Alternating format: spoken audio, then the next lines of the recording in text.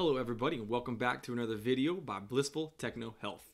Today I'm going to be showing you guys how to install Valorant on your secondary hard drive.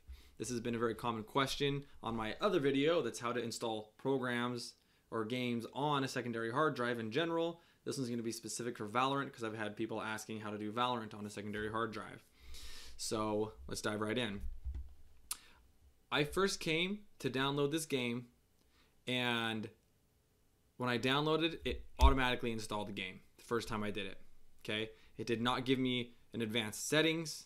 It didn't give me anything. It just started installing the game. I uninstalled the game removed the files everything. We went through the process again okay? So you can see here I'm back to the Valorant website download the game download.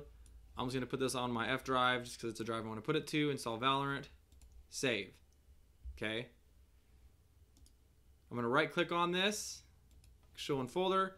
You can see it's here. It's in my F drive. Bada bing, bada boom. Let's run the game. Now I've gotten advanced options. I swear the first time I did this, it did not give me an option to click anything. It just installed the game. So if you've run into that problem, I don't know why I did that. After I uninstalled the game, tried it again. Now it gave me the advanced op- advanced options. Advanced options option. That's weird. Now I can change the path. So here's where I can change it. Okay, install the game. Let's say I want to install it on my F drive. Let's make a new folder in here. We'll color it. Color it.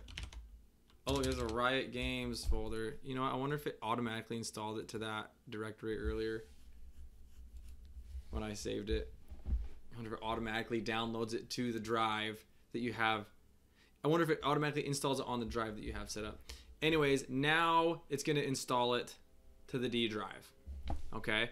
So that's pretty much all there is to it.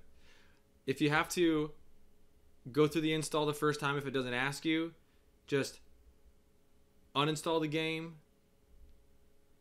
run the file again. The second time, it gave me the option.